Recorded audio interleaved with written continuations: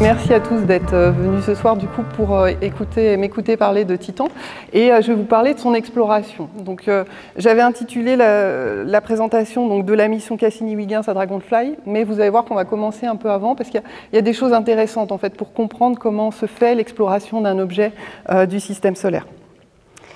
Donc, juste au cas où, mais je pense que vous savez que Titan se trouve autour de Saturne, peut-être que vous savez moins euh, que Titan, en fait, finalement, est assez distant euh, de Saturne. En fait, il est euh, donc bien loin des anneaux, parce que finalement, quand on le voit à travers un télescope, une lunette, on peut avoir l'impression que c'est assez proche.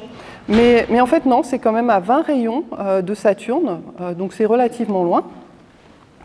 Et, et donc voilà, donc c'était juste pour situer. Donc, Titan, la première fois, euh, donc, euh, pour euh, la première fois donc, qu'on a découvert finalement que Titan possédait une atmosphère, donc c'est quelque chose de très spécial pour un satellite, ça date donc de 1944.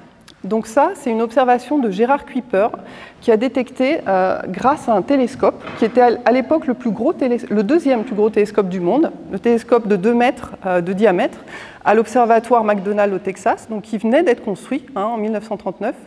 Donc en 1944, grâce à ce télescope et à euh, un spectrographe à prisme, il a détecté du coup le méthane.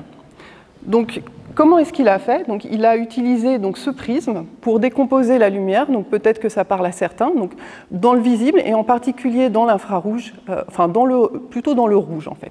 Dans les longueurs d'onde du rouge, il a décomposé la lumière, donc là il y a le spectre euh, de décomposition de la lumière, et on voit ici euh, un, petit, un petit saut en fait, qui correspond à la détection d'une bande du méthane. Donc ça, c'était vraiment la première fois qu'on montrait que Titan possédait une atmosphère vu qu'il euh, avait aussi observé pour d'autres euh, objets du système solaire, d'autres satellites, Ganymède, Europe, Callisto, et euh, sur lesquels on ne voyait pas du coup cette bande d'absorption.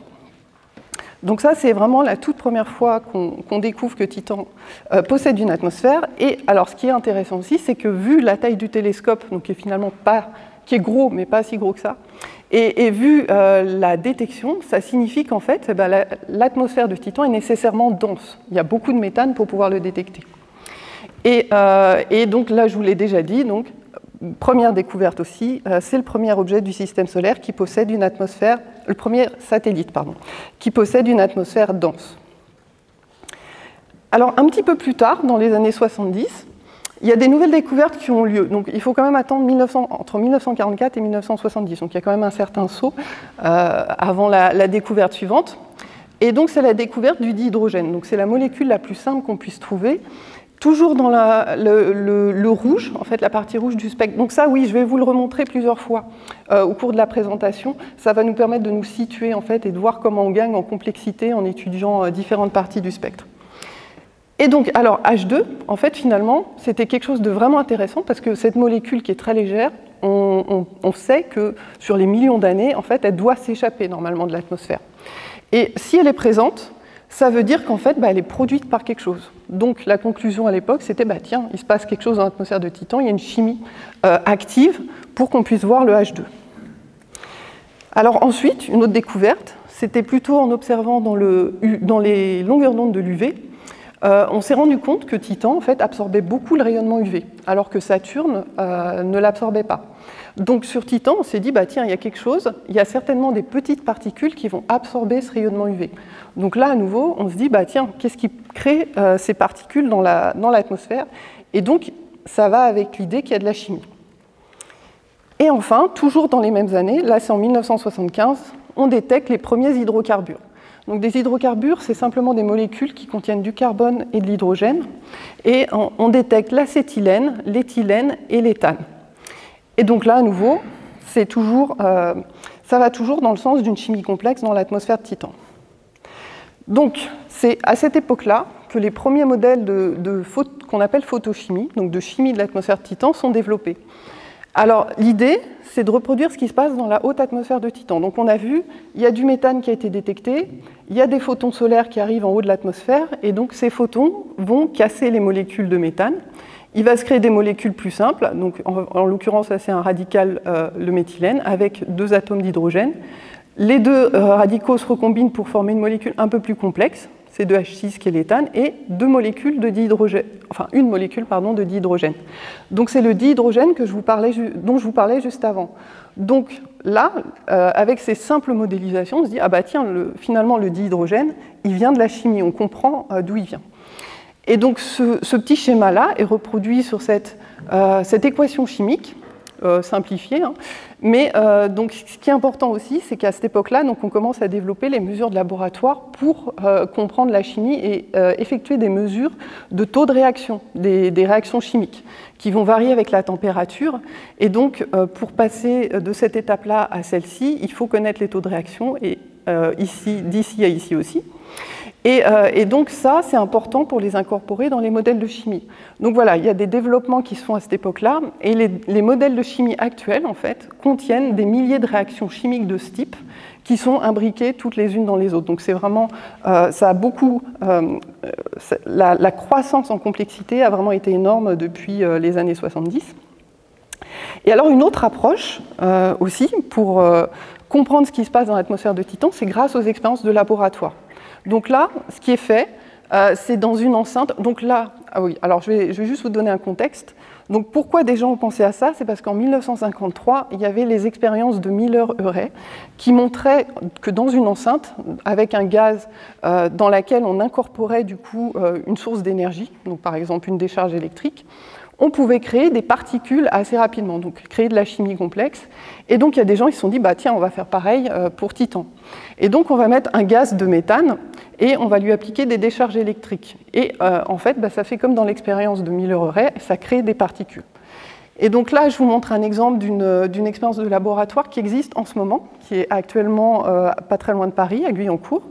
Et dans cette expérience-là, si on met différentes euh, euh, valeurs, donc différentes concentrations de méthane, on va voir des particules, donc ça c'est des petites fioles hein, dans lesquelles on a mis les particules qui ont été récupérées, et eh bien on voit que les particules changent de couleur en fait. Et donc euh, ça, ça correspond avec des observations en visible que je vous montrerai tout à l'heure.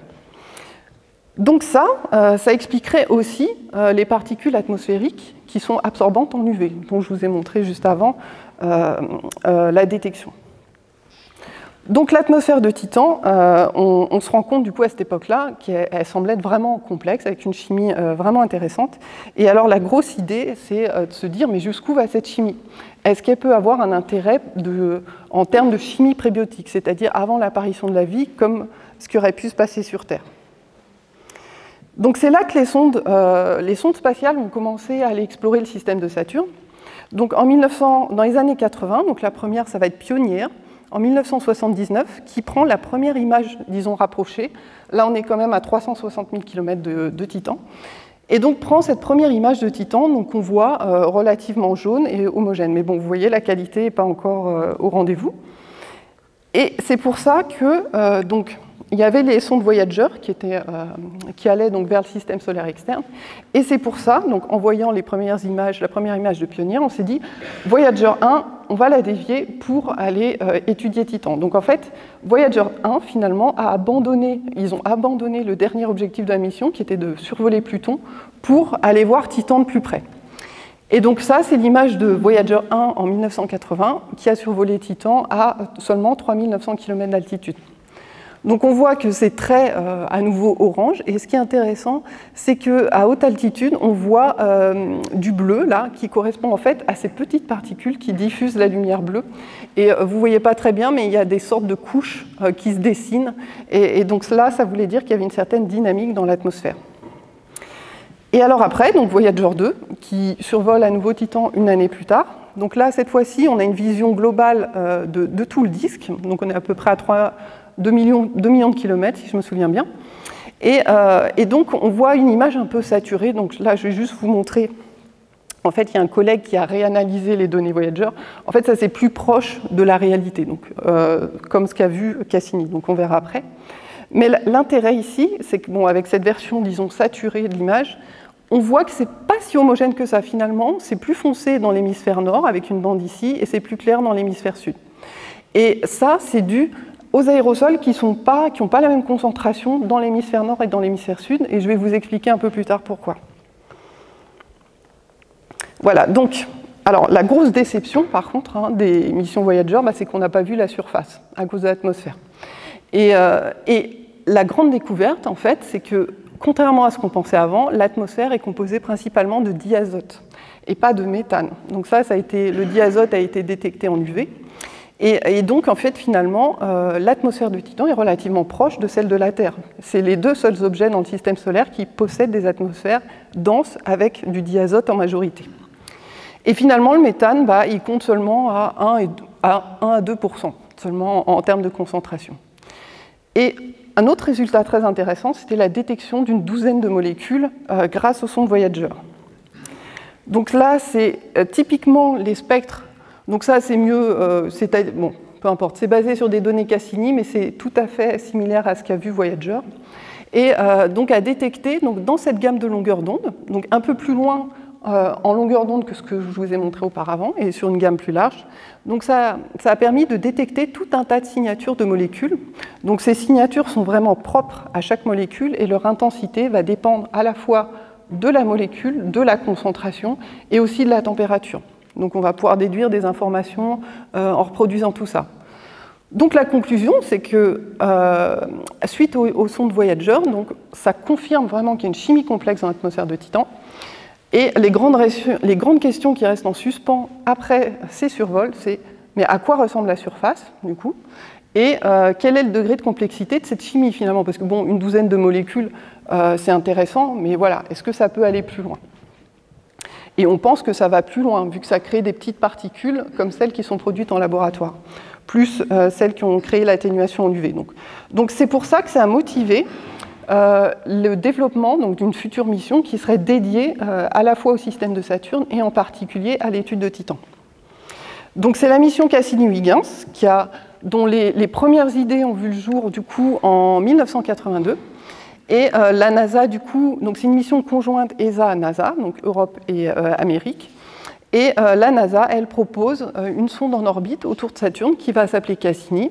Et l'ESA, elle, propose un module Huygens qui sera un module de descente, donc, que l'on voit ici caché sous sa, sa coiffe de protection thermique. Et, et, donc ce module va descendre dans l'atmosphère de Titan. Donc c'est vraiment une mission imposante. Donc à l'époque, c'est vraiment la plus grosse qui a jamais été lancée.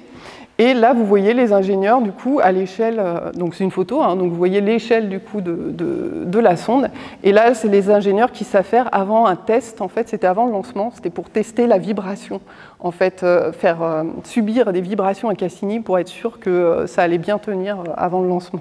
Enfin, le lancement et puis les, et les, différentes manœuvres ensuite. Donc, finalement, c'est sélectionné, donc vous voyez, l'idée initiale date de 82, et c'est sélectionné en 88 par l'ESA, les, donc l'ESA côté Huygens et 89 par la NASA pour tout le reste. Donc il y a 27 nations qui participent à cette mission. Et euh, le décollage a lieu en 97, en octobre, depuis Cap Canaveral. Et elle va arriver seulement en 2004 autour de Saturne. Donc vous voyez, il s'écoule plus de 20 ans entre les premières idées et finalement l'arrivée euh, sur place. Donc ça, c'est juste pour vous montrer typiquement les échelles de temps des missions spatiales. Ça prend toujours typiquement euh, cet ordre de grandeur-là, au minimum une dizaine d'années et bien souvent une vingtaine d'années. Alors donc Cassini, on a vu, déjà c'est des dimensions imposantes. Hein. Là c'est une autre photo de Cassini. Donc 6,7 mètres de haut. L'antenne ici qui envoyait le signal vers la Terre faisait 4 mètres de diamètre. La masse totale était de 5,7 tonnes pour 3 tonnes de carburant. Donc le carburant a servi à faire euh, toutes les variations de trajectoire que je vous montrerai ensuite. Et Cassini, du coup, par contre, euh, comportait 12 instruments. 12 instruments qui ont regardé euh, différentes gammes coup, de longueur d'onde pour étudier différents processus donc dans le système de Saturne. Et nous, en particulier, on va s'intéresser à Titan. Donc il y avait des imageurs infrarouges, ultraviolets et visibles, des spectromètres, du coup, qui vont regarder plus finement, qui vont décomposer plus finement la lumière pour, effectuer des spectres, en visible en infrarouge et euh, aussi des observations radio, un radar et des analyseurs sur place de la composition. Donc au moment où Cassini euh, passait près de Titan, il passait tellement près qu'elle traversait l'atmosphère, récupérait des composés et les analysait euh, chimiquement. Donc voilà à quoi servaient du coup les 3 tonnes de carburant. Donc ça, a permis de faire, euh, en tous les cas, dans le cas de Titan, 127 survols rapprochés. Donc ici, on voit les différentes orbites de Cassini avec au centre Saturne, différentes euh, euh, orbites de satellites et ici Titan, l'orbite de Titan. Et du coup, en vert, c'est les orbites de la mission nominale. Donc au départ, Cassini était prévu pour durer seulement 4 ans, de 2004 à 2008. Et euh, ça a tellement bien marché qu'on s'est dit, bah, on va continuer. Et surtout, ce qui était intéressant, c'est que euh, dans le système de Saturne, les saisons durent plus longtemps euh, que sur Terre, vu qu'on est plus loin du Soleil. Et elles durent typiquement 6 à 7 ans. Donc on s'est dit, après la mission nominale, on va continuer pour atteindre l'équinoxe de printemps nord, voir ce qui allait se passer. En fait, on soupçonnait, grâce à des modèles de climatologie, qu'il allait y avoir des changements importants. Et la mission d'équinoxe, du coup, s'est étendue de 2008 à 2010. Et comme ça marchait toujours très bien et qu'on avait des super jeux de données, la mission a de nouveau été prolongée, cette fois plus longtemps, sur 7 ans, pour atteindre le solstice d'été nord. Donc l'idée, c'était vraiment d'avoir deux saisons dans le système de Saturne pour vraiment mieux comprendre euh, comment fonctionnaient euh, les atmosphères de Saturne, de Titan, et voir s'il y avait d'autres variations, euh, éventuellement dans les anneaux, etc. Donc pour Titan, il y a eu 127 survols, donc je vous l'ai dit, de Titan sur deux saisons, donc pendant l'hiver nord et l'été nord. Et donc on verra après euh, qu'est-ce qu'on a vu euh, au cours de ces saisons.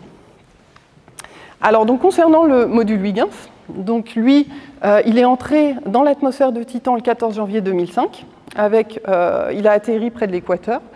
Et, donc il a mesuré la composition, les caractéristiques de l'atmosphère pendant 2h30, pendant la descente. Et, donc, ce module contenait six instruments avec plusieurs caméras infrarouges qui ont pris des clichés euh, pendant toute la descente, un analyseur de composition là aussi pour euh, comprendre de quoi était euh, faite l'atmosphère, mais aussi, oui, enfin pendant la descente en fait, comment elle variait, comment cette composition variait. Ça a mesuré aussi les vents, la température, la pression, et aussi il y a eu des capteurs pour mieux comprendre de quoi était faite la surface. Alors, donc Titan, euh, donc vous commencez à le sentir, c'est un satellite qui est un petit peu différent des autres quand même. Alors là, je vous montre en s'éloignant de Saturne, donc Saturne est de ce côté-là, et en s'éloignant de Saturne, donc les, premières lunes sont petites, et petit à petit elles sont de plus en plus grosses.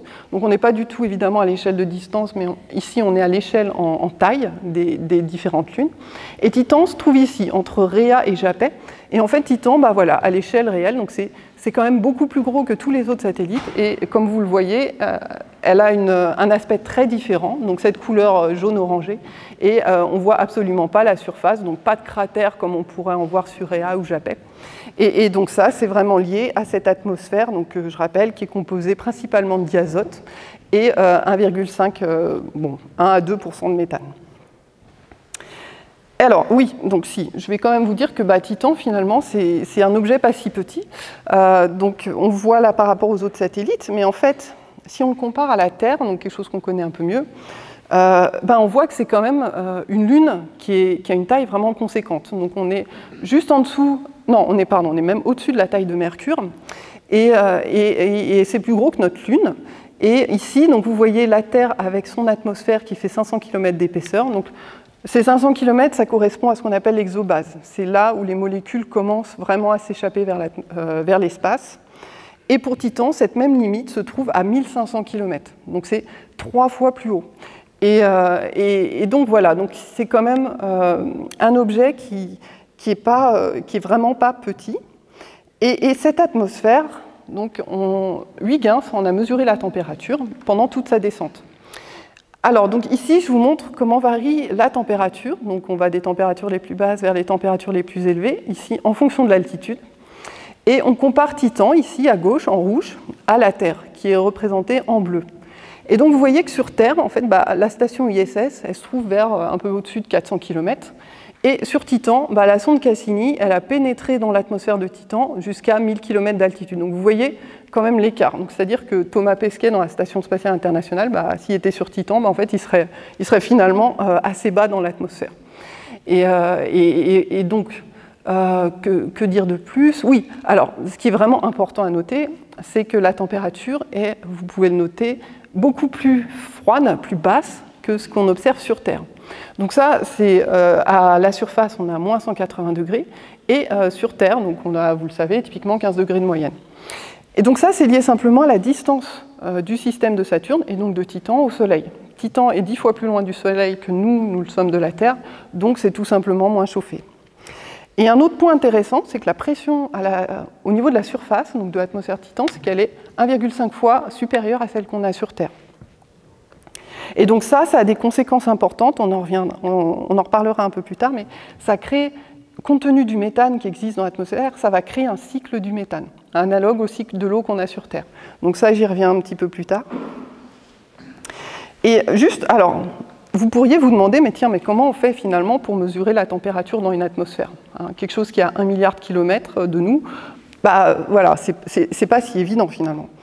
Et donc, alors c'est un peu la première, euh, la première idée qui nous vient en tête, bah, ça va être de quoi? De mettre un thermomètre. Donc ça, c'est ce qu'il y a eu sur la sonde Huygens. Sauf que le thermomètre, en fait, il a pu mesurer la, la température atmosphérique seulement très bas finalement, en dessous de 160 km, parce que euh, c'est le moment où en fait finalement le parachute a été déployé et la coiffe protectrice du coup euh, thermique de, de, Huygens en fait a été éjectée. Donc euh, ça, crée une, zone restreinte de mesure de la température. Mais alors là, comment est-ce que Huygens a mesuré au-dessus? Donc au-dessus, donc pendant que Huygens était encore caché dans sa coiffe protégée de l'échauffement par l'atmosphère, donc c'est la décélération de la sonde en descendant, avec la densité atmosphérique qui augmentait au fur et à mesure. C'est la décélération et en supposant une composition atmosphérique qui permet de remonter à la densité et, euh, du coup aussi à la pression et la température euh, dans l'atmosphère.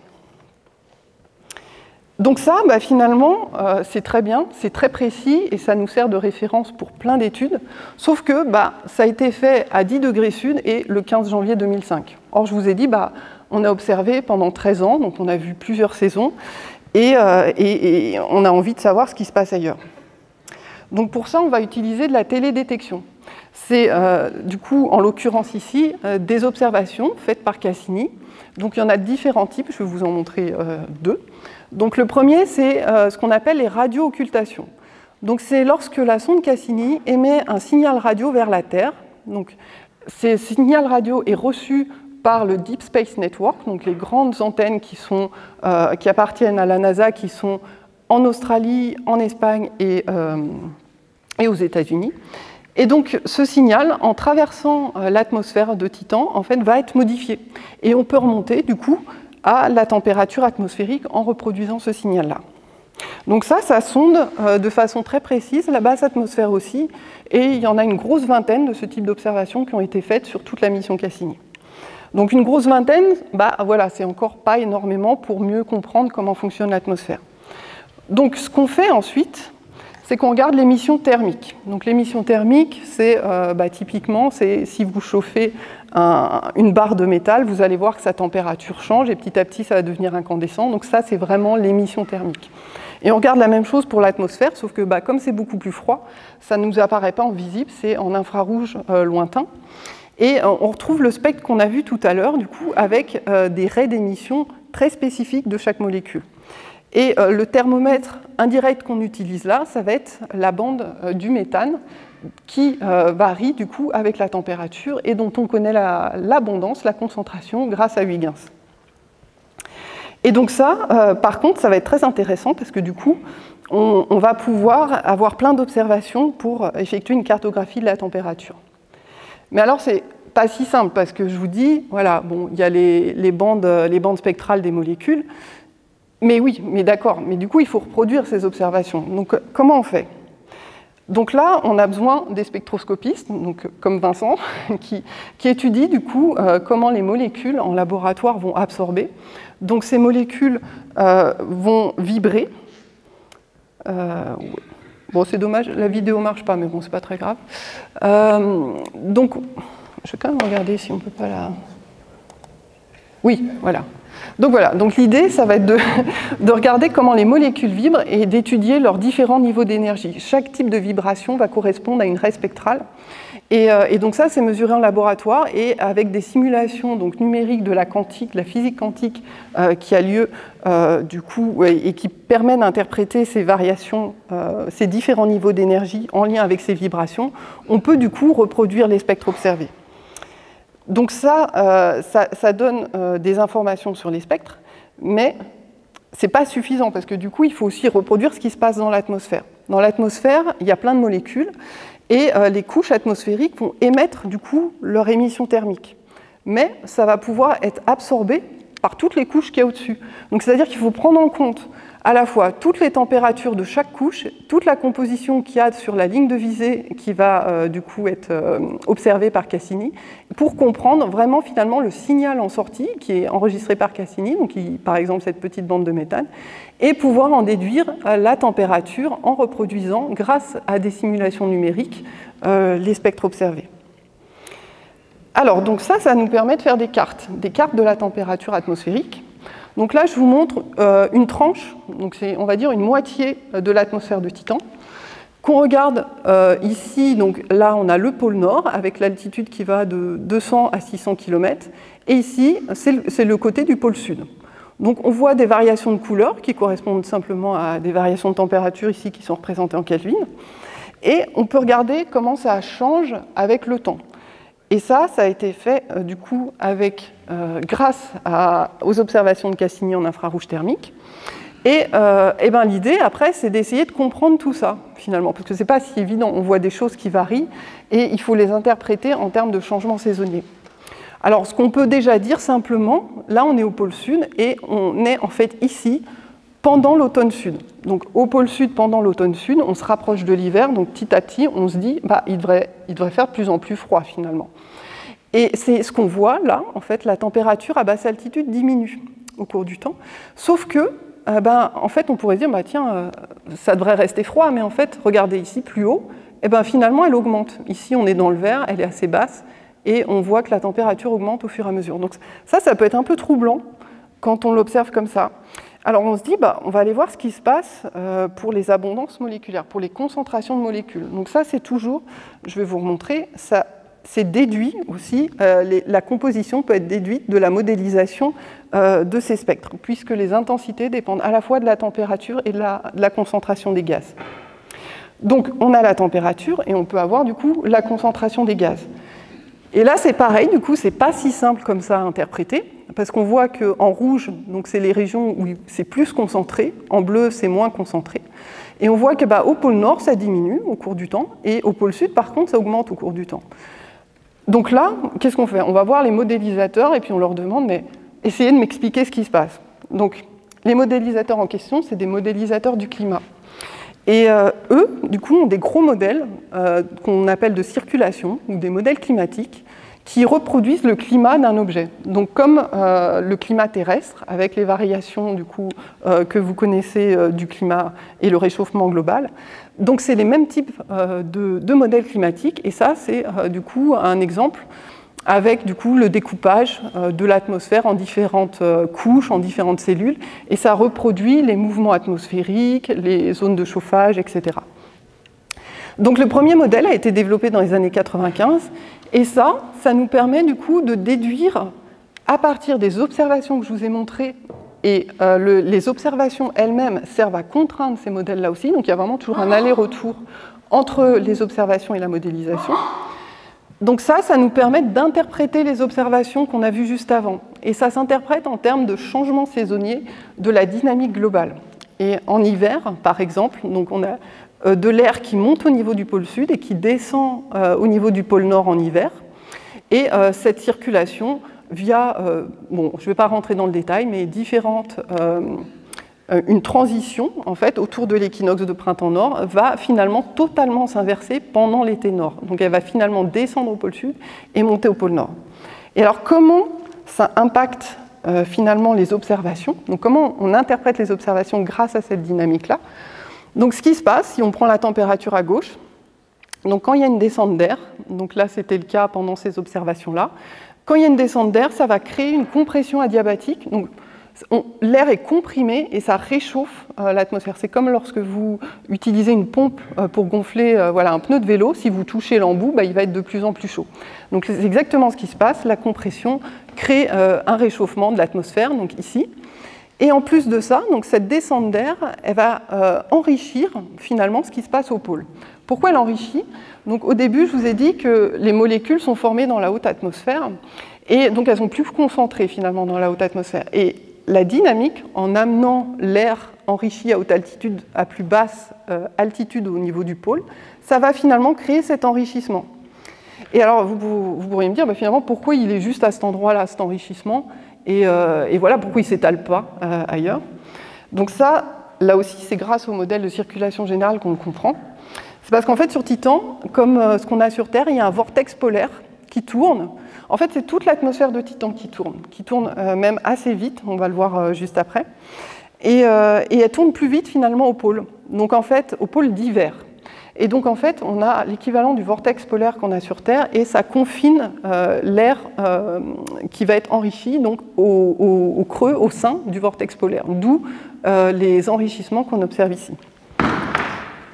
Et alors donc on peut aussi observer Titan depuis, depuis la Terre, donc là aussi pour avoir d'autres informations.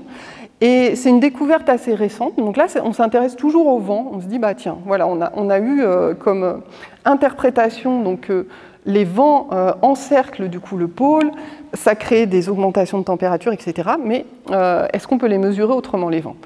Donc c'est grâce aux données d'ALMA, donc il y a un interféromètre euh, dans le désert d'Atacama, qu'on peut du coup, donc qui observe en submillimétrique, donc une autre gamme de fréquences de longueur d'onde que celle que je vous ai montrée jusqu'à maintenant.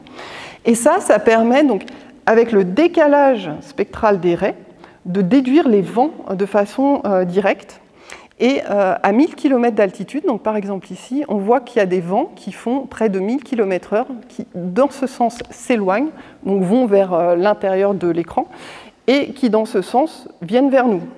Et donc l'atmosphère complète tourne vraiment très vite, et à haute altitude, il y a déjà des vents de plus de 1000 km/h. Et très franchement, enfin, on ne sait pas d'où viennent ces vents et qu'est-ce qui crée euh, et qu'est-ce qui permet de les maintenir à ces vitesses-là.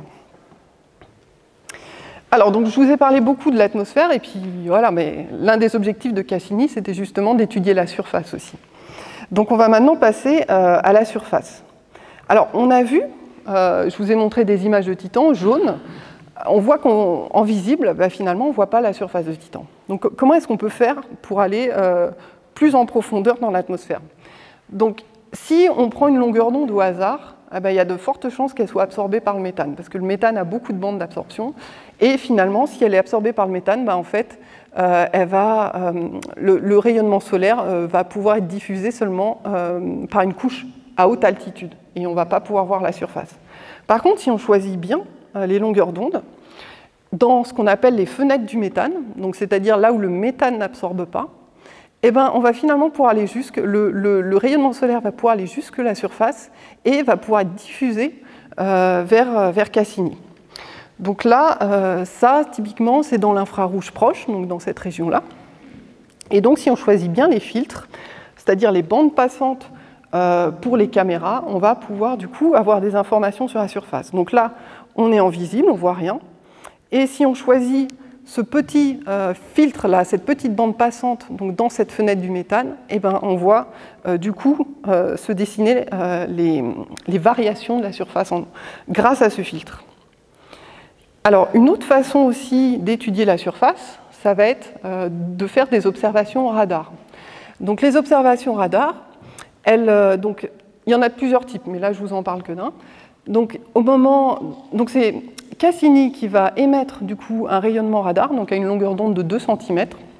Et ce rayonnement, s'il atterrit sur une euh, surface lisse, en fait, bah, il va être réfléchi, euh, comme s'il atterrissait sur un miroir et il part. Donc Cassini ne récupère rien. Et euh, les zones, en l'occurrence, pour lesquelles ça fait ça, elles apparaissent en sombre sur les images radar. Et ça correspond à des étendues lisses, et donc très certainement des étendues liquides.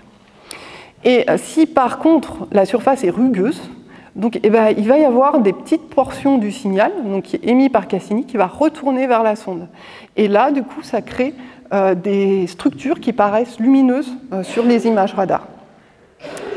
Et donc, euh, Cassini a cartographié à peu près la moitié de Titan en radar, avec une résolution meilleure que 1 km. Donc ça, ça a permis aussi d'avoir des informations vraiment cruciales sur, sur la surface.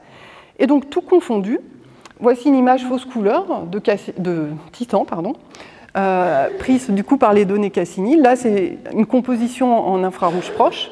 Et donc, on voit que la surface est vraiment euh, bah, hétérogène. Hein. On voit, euh, si on revient, hop, on, voit des régions du coup plus sombres. On voit une région brillante ici qui s'appelle Xanadu, qui est en fait une région montagneuse. Et on voit ces régions sombres là, qui sont en fait, qui ont été une des grandes surprises de l'observation, des observations de Cassini, quelque chose auquel on ne s'attendait pas. Et, ce sont en fait des grands champs de dunes, euh, qui sont euh, bien plus grands que, notre Sahara, et qui en fait euh, correspondent à des dunes longilignes qui vont avoir des longueurs de plusieurs centaines à milliers de kilomètres, typiquement une hauteur de 50 à 200 mètres, donc un peu plus petit que la tour Eiffel, et entre les dunes, des, régions plates de 2-3 km de large. Euh, et, le meilleur analogue qu'on a sur Terre, en fait, bah, c'est le désert de Namib, où il y a aussi des, très grandes dunes de ce type longiligne, euh, que vous pouvez trouver euh, sur Google Earth.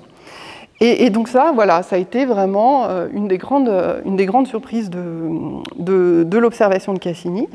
Et la sonde Huygens a atterri finalement pas si loin que ça d'un de ces champs de dunes. Mais ça, je vais y revenir un petit peu après. Alors donc voilà la cartographie finalement euh, qui schématise les différentes zones de la, surface de Titan euh, qui ont été euh, du coup étudiées par Cassini.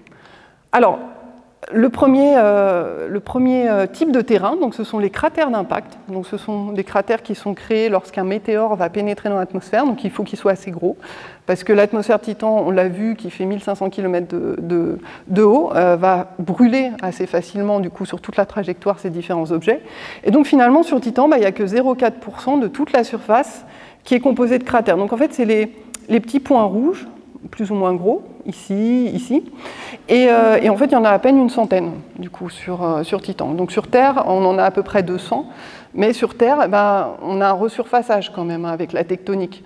Donc en fait, sur Titan, c'est vraiment lié au fait qu'il y a peu de bolides qui, atterrissent, enfin qui arrivent jusqu'à la surface, et il y a aussi des phénomènes d'érosion euh, éolien, par exemple, ou fluviaux qui vont effacer les cratères.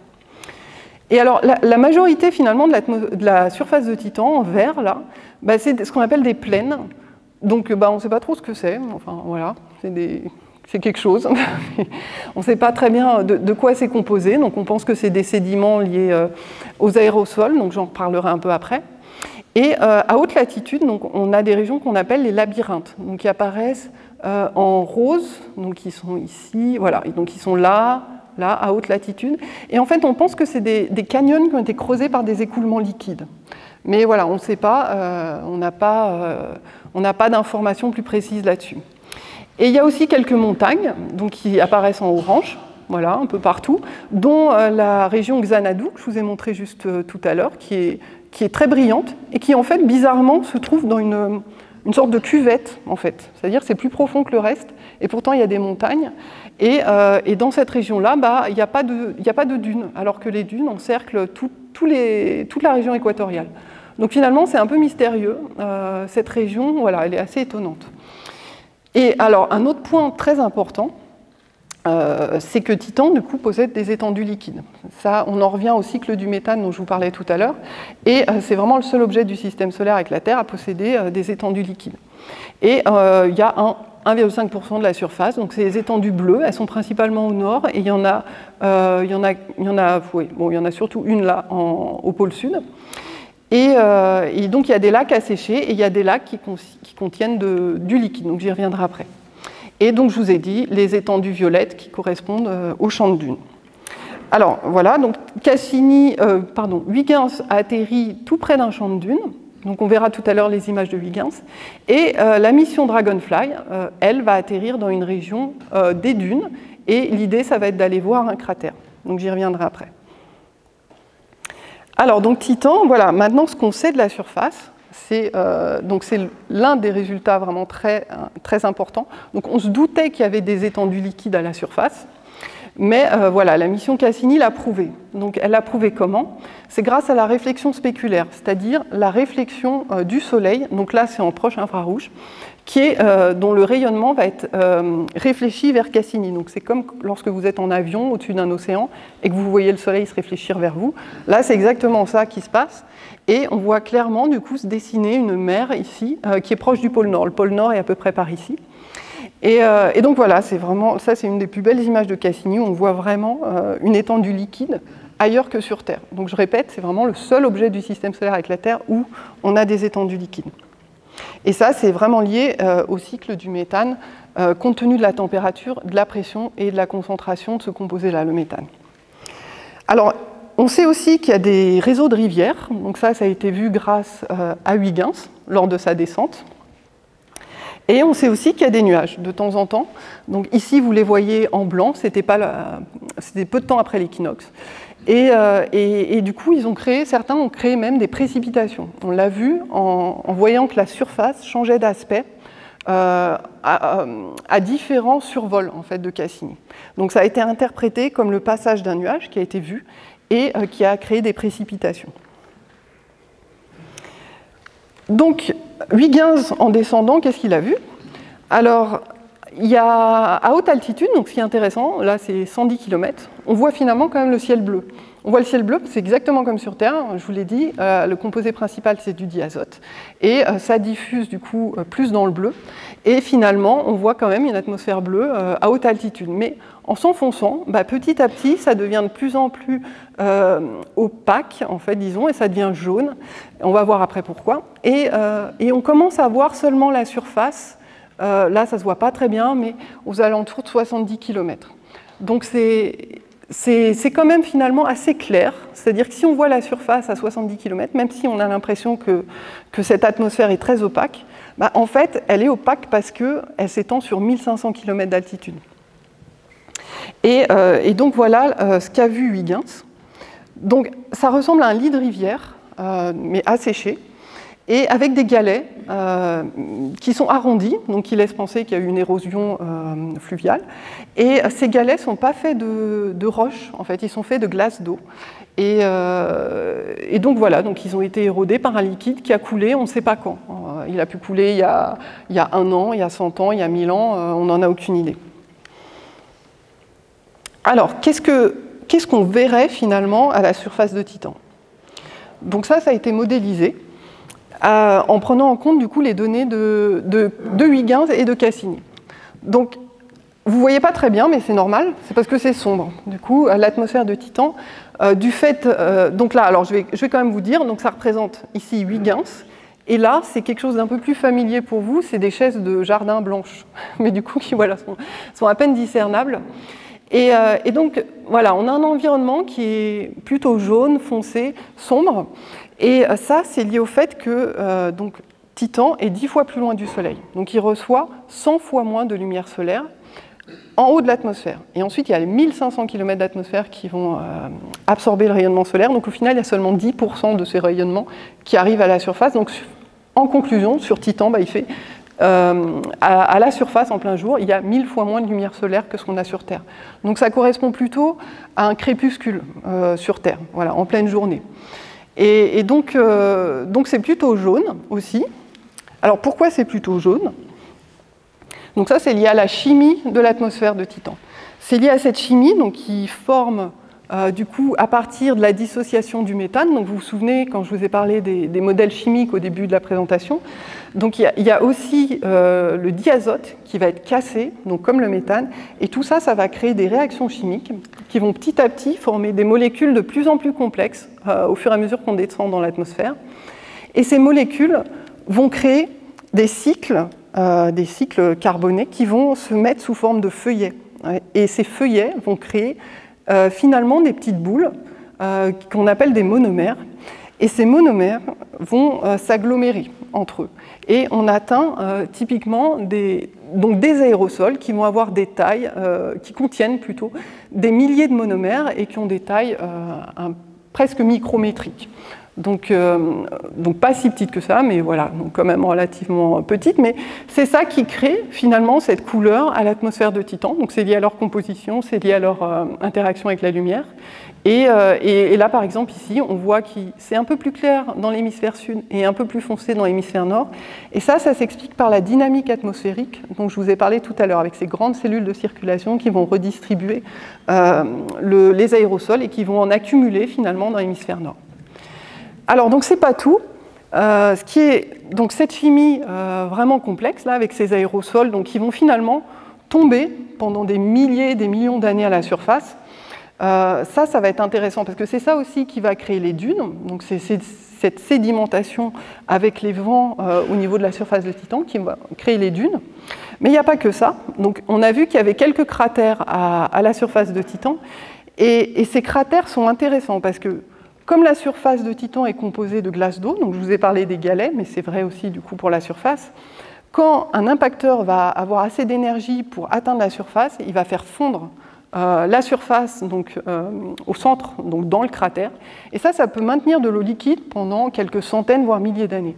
Et ça, c'est extrêmement important parce qu'en laboratoire, donc, les gens euh, qui reproduisent ces aérosols, là, donc vous vous souvenez au début, quand je vous ai parlé des enceintes dans lesquelles on met un gaz de méthane et une source d'énergie, ça crée ces petites particules marron, jaunâtres qu'on a vues. Et eh bien, si on met ces particules-là en présence d'eau, très rapidement, en quelques mois, même pas, quelques semaines, ça crée des composés euh, vraiment d'intérêt pour la chimie prébiotique. Ça va créer des, acides aminés, des protéines, etc.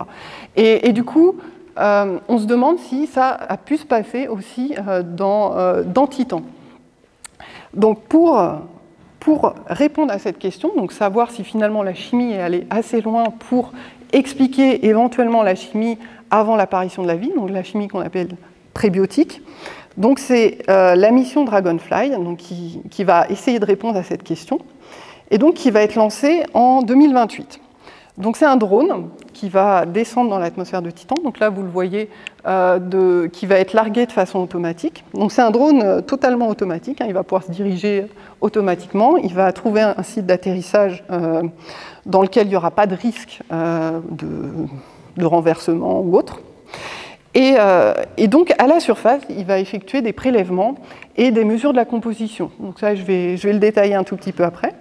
Là, vous voyez qu'avec l'antenne ici qui va, qui va, déployer, il va pouvoir envoyer vers la Terre, du coup, les mesures euh, qu'il aura effectuées pendant les différentes analyses.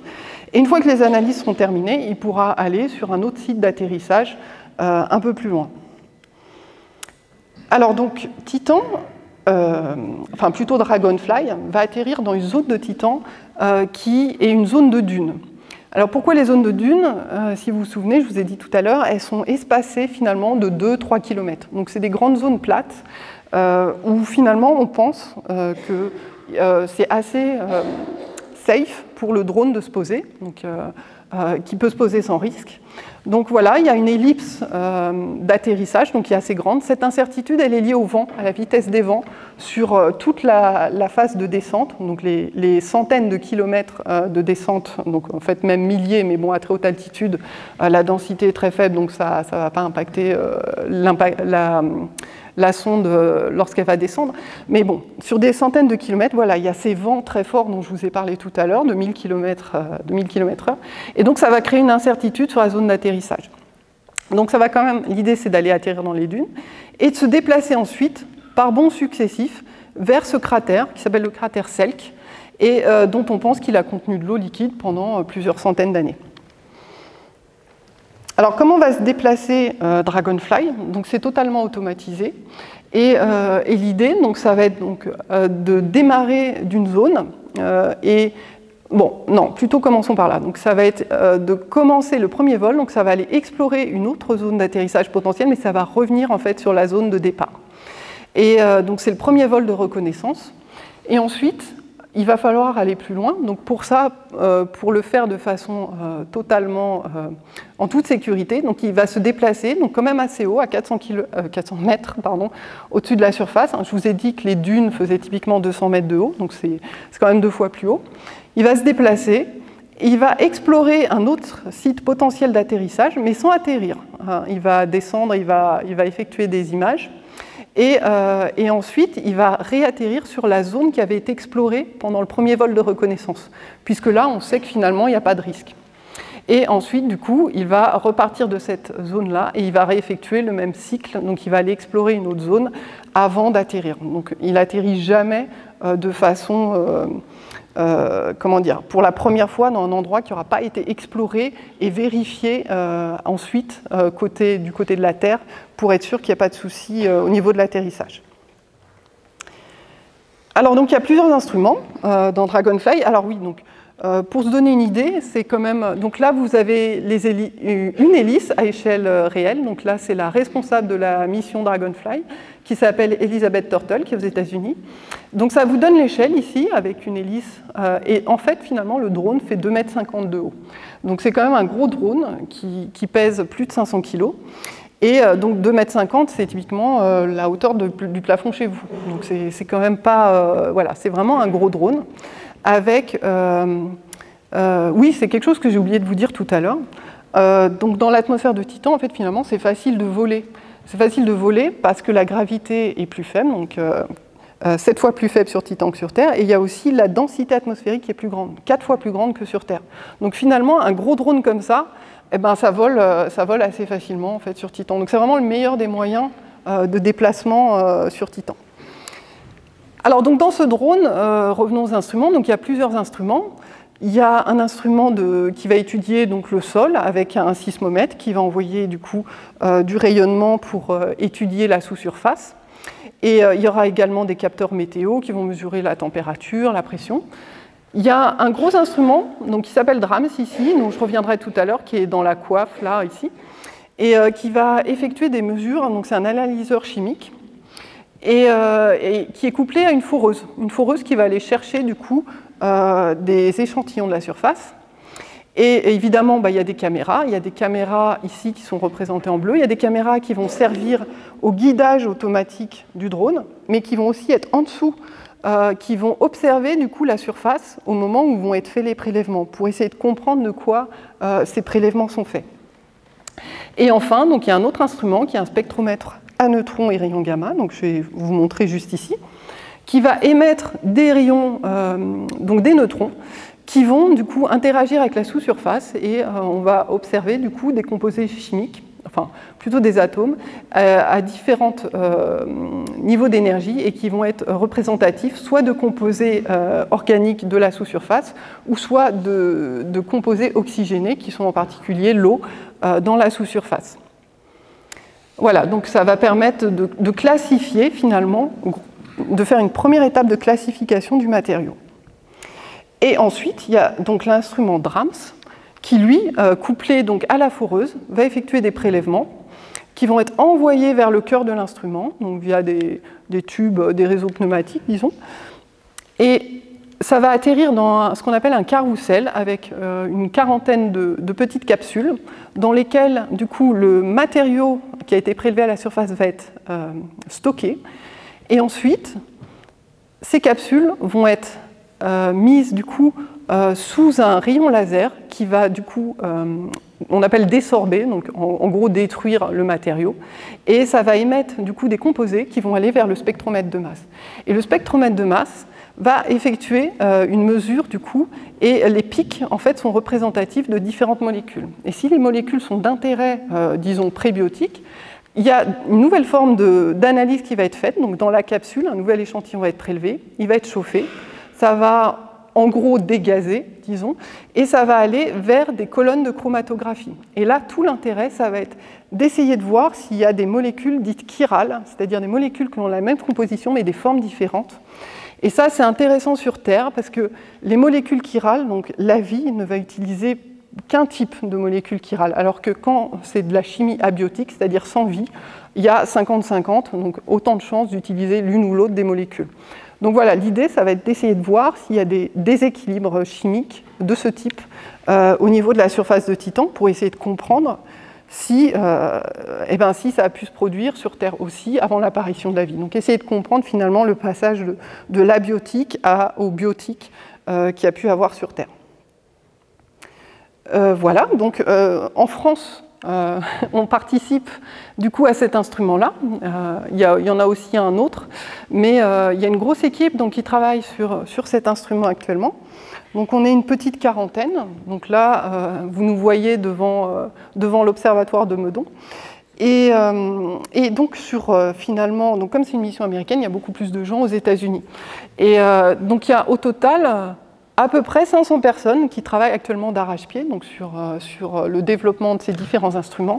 Donc ils commencent à être testés, ils commencent à être vibrés euh, pour essayer de voir s'ils vont tenir au décollage, les vibrations, tout ça. Donc ça avance vraiment très vite et, et typiquement ils doivent être livrés très rapidement, dans un an, un an et demi, pour un lancement, donc, comme je vous disais, en, en 2028. Donc ils sont livrés à la NASA et ensuite ils vont être assemblés euh, et, voilà, donc il y a vraiment énormément de phases euh, pour euh, le développement d'une mission spatiale de ce type. Et voilà, donc, je peux vous proposer rendez-vous dans 11 ans, quand, Dragonfly sera atterri. Et, et puis en attendant, bah, je me permets de faire de la pub. Donc si vous êtes intéressé par le système de Saturne, avec trois collègues, on a écrit un livre, donc j'en ai mis un exemplaire si vous êtes curieux. Et, et, donc voilà, on retrace les, résultats de la sonde Cassini et euh, on voulait faire un état des lieux euh, de, notre connaissance du système de Saturne. Donc, ce que je vous ai montré là, c'est vraiment une toute petite partie de, ce qu'on a appris grâce à Cassini. Et, euh, donc voilà, vous avez trois superbes orateurs qui pourront venir vous parler de tous les autres aspects du système de Saturne pour vos prochaines conférences. Voilà, je vous remercie beaucoup et, je serai ravie de répondre à vos questions si vous en avez.